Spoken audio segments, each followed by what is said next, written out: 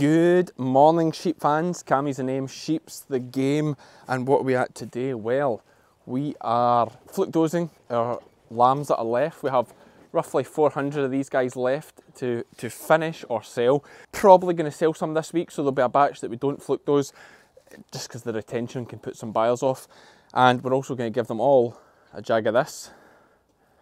This is, hopefully it's not mirrored on the, the screen there. It looks backwards as I look at it, but hopefully it's looking okay to you guys. In fact, let me turn the camera around. Here it is here. I've got the bottom weight, it's just about dropping out the bottom. It's called Troy Vitamin B12. This was recommended to me by the vet. Similar to Smart Shot, some of you may have heard of that. It's been about for a little while, but this only lasts for two months. So with Smart Shot, you give the lambs 0.5 mil certainly your store lambs, you give them 0.5 mil and it lasts six months. With this, it's one mil and it lasts two months. And depending how you look at it, this bottle here is 114 pounds. So yes, it's much cheaper than Smart Shot, which is roughly 500 pounds. But when you actually work it out, you know, it's probably similar priced in terms of the fact Smart Shot does six months, it's half the dose, all that kind of stuff.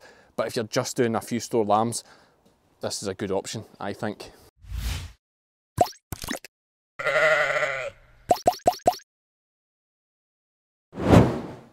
So that's the plan today, fluke dose and a multivit injection. Interestingly, that can be given intramuscular or subcutaneous, so either into the muscle or under the skin. We'll probably go into the muscle just because it's easier than, yeah, I think that's probably the plan. But essentially, you put it in either way and it should work fine, which is quite good, easy to apply, especially in this machine. Let's get some lambs in and see what the weights are. That's what I'm really interested to find out. I should also say Marissa's here helping today. Marissa doesn't get enough airtime. Um, give her a thumbs up, Marissa. Look happy at your work. Yeah, that's good. You're good at putting on for the camera. so here's the lambs. I don't know who showed that one, guys. Oh, jings, probably me.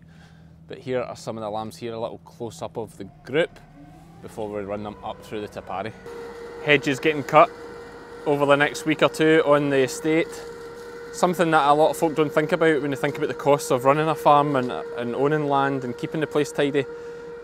Another big expense there, especially when they're using a Fendt to do it. Done my usual, I've got the lamb in and I've not, I'm not even ready. Um, the good thing with this bottle here, just comes out a bottle like this, this stuff. And it looks like it's the exact same bracket that goes on the Dectomax, which is good, yep. And we want this shut down to one mil. There we go. And now just need something to hang this. Would that hang from there alright? Where would we be without it? The good old baler twine. Right. Right, hang it here. Hang it from there, and you might be wondering, Cammy, what is that hanging from there? Well, I've had this Te Pari for four months, and I didn't realise that the bar that came with it actually just hangs over there for your and stuff. Every day's a school day. Now this is an interesting start. You might notice my videos are getting a bit more erratic now, but I'm just trying to get them filed out for you guys and show you what we're, we're really up to. This lamb's 47.6 kilos. And I'm talking about selling them store. Um, wow, right. I was not expecting that. I was thinking nearer, wow, I don't know what weight these lambs are then. This might be one of the bigger ones, surely. Let's, let's, let's, let's put a mark on it. Green shoulders are heavy lambs. Okay, second lamb through is a bit more of a sensible weight. It's 42.2, so it's getting a fluke dose and a jag of this B12 supplement. And it's going to the left. We twist that and we release. You're free. Next lamb's 36.6. My Te Pari gun gives me 7.3. Looking a bit furry around the chops there. I sometimes think, you know, that kind of thing's a sign of a lack of something or, or even a sign of maybe the fluke's boiling them. Yeah, I was still worried about that lungworm because we, we did most of these with Zolvix, but Zolvix doesn't cover lungworm. So I do wonder, is that, yeah, quite a heavy snot in that lamb's nose. And this would be, these lambs had their first Heptavac. Should I be doing them their second Heptavac? Probably should. Because as we discovered in the previous video, that doing them once is a waste of time. So despite the very clever metal arm that we have here, there's still no really anywhere to put the dosing gun. So I've just, you know, put my little table up again. And as well, before what I used to do is step in in front of the sheep when I was dozing them. And then I thought, you know, if Lizzie can learn to shear with her right hand, she's left-handed, surely I can learn to doze with my left hand. So that's what we're doing now. Set myself a new challenge. Doze left-handed. It's actually very easy. A lot easier than shearing with your bad hand, that'll be for sure. Quite a few of the lambs coming through with just these kind of dry, kind of flaky ears, kind of scabby bits on the ears. It's almost like a dirty word saying that about sheep, but see this here? Now, I think that is a sign of being deficient in cobalt. So that would tie in with the B12 deficiency. So hopefully this stuff does the trick. Another good um, bit of PR, I suppose, for the Crystalyx side of things is the only sheep that I've had Crystalyx all summer are those big lambs that you've seen in the previous videos that we've been chipping away at that we didn't shear. They've had Crystalyx the whole time and they're like obviously growing tremendously well and no other issues because they get all the B12 they need from Crystalyx. The reason I don't just Crystalyx everything is well one it's it would be a repetitive job like replacing buckets all winter whereas for me with sheep away from home all over the place the bolus a great thing because it'll it'll allegedly stay in them for six months and eke out what they need. It doesn't cover as many things as Crystalyx would but it covers that B12 deficiency which is the big worry we have just now and about February time depending on the year they'll be getting Crystalyx blocks anyway for that really um, stressful period when the lambs are getting really big inside them just before lambing. So that's how we cover it. Okay, lambs all fluke dozed and given their B12 jag. Let's get them through the foot bath now before going to a lovely crop of rape. I just looked in the box and that Troy stuff actually comes with its own wee tube and nozzle, which is quite handy.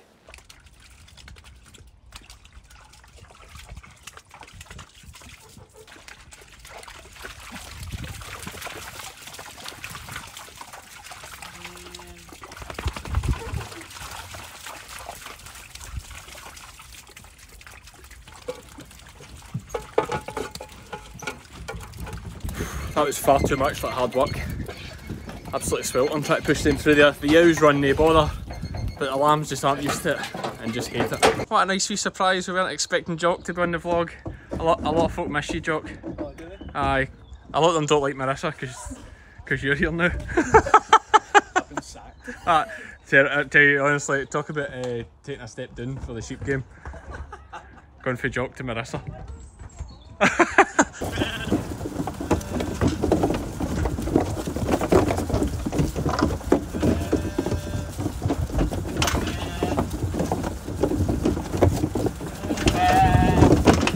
Okay, so this is the field of rape that we have this year. Very, very windy up here, so the audio might not be great. It's not really taken too great at this part of the field, but it is a bit better further over here. Just hasn't taken as well this year. I spoke to the farmer about it, just uh, the conditions at the time when I went in. Did, he did it a slightly different way this year as well, and he says it just didn't it didn't work as well. So it's one of those things we talk about in farming all the time, you win or you learn. So we probably won't have as many sheep running on here as we did last year. We'll probably put 160 here just now, um, two loads of 80, and that'll do us for just now. We'll see how they go on it. They're average 38 kilos through the scales there. So 38 kilos, did a kilo a week, say, get them, you know, give them two months. No, 38 kilos, no, a kilo a week would be eight weeks. Yeah, yeah, give them two months and see where they are. So that basically takes them out there with their fluke retention. That's it for this one anyway, sheep fans. We're going to go back and get this last lot and get them dropped off and that'll be us for the day. Thankfully it dried up. It was a horrible start to the day, but now it's dried up. It's quite nice. If you've enjoyed this video yet, please do hit that subscribe button, give it a thumbs up. I appreciate all your comments. We do try and reply to all of them. And of course, I'm still pushing this Patreon thing, adding extra videos there all the time. Try to basically build up to pay for an editor for my videos so that I can do more of them. That's, that's the truth of it. Um, and if you want to know how much I'm paying for this, I'll do a video about that on Patreon. Don't like to put too much on here about, you know, what we pay for things because too many of you guys just nosy local farmers. I know I would be. Right, that's us. See you for the next one, cheap fans.